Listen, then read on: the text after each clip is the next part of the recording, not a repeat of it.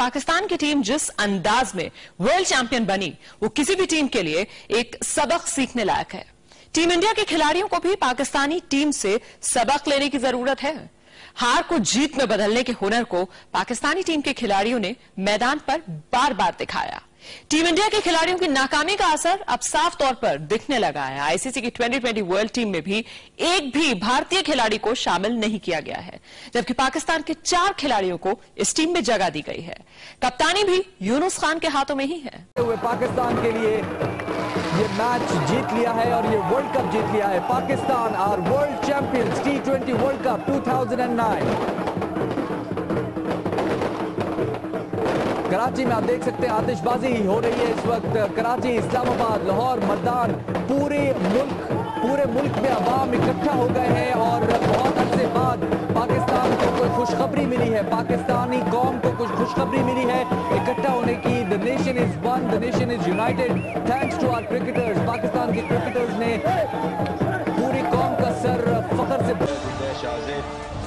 बाद एक बड़ी टीमें धराशायी होती गईं और पाकिस्तान की टीम बुलंदियाँ चढ़ती दिखी।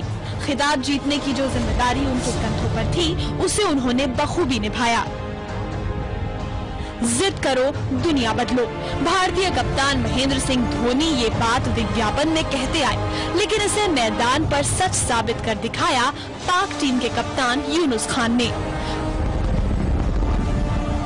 धोनी को यूनुस से ये सीखना होगा कि भले ही मैदान से बाहर खिलाड़ियों में मनमुटाव हो, लेकिन टीम मैदान पर एक टीम के तौर पर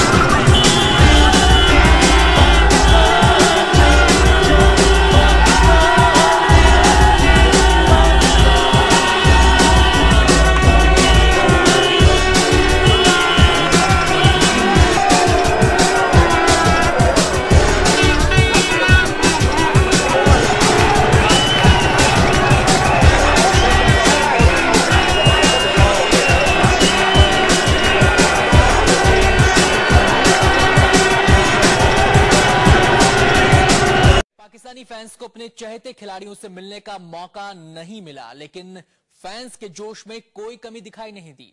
टीम की फ़्लाइट रात तीन बजे आनी थी, लेकिन फैंस शाम से ही उनका इंतज़ार करते रहे। एयरपोर्ट के बाहर हज़ारों की तादाद में फैंस मौजूद थे, वो भी गाजे बाजे के साथ। खिलाड़ियों को भी अफसोस है कि उन्हें फैंस से रूबरू होने का मौका नहीं मिला।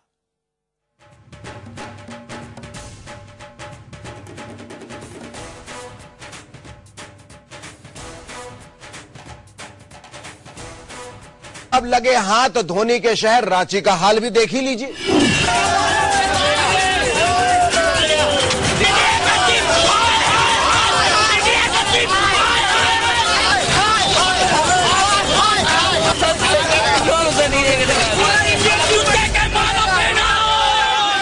और ये देखिए, राजस्थान में जोधपुर की लड़कियों ने क्या हाल बनाया है भारतीय क्रिकेटरों का।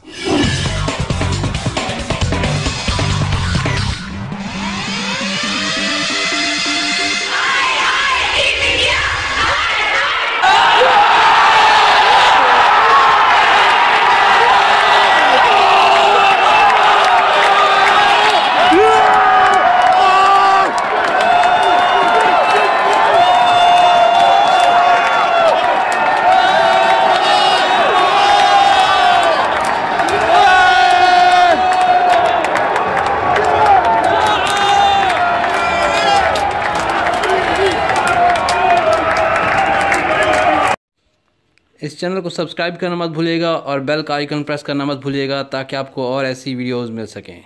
Thank you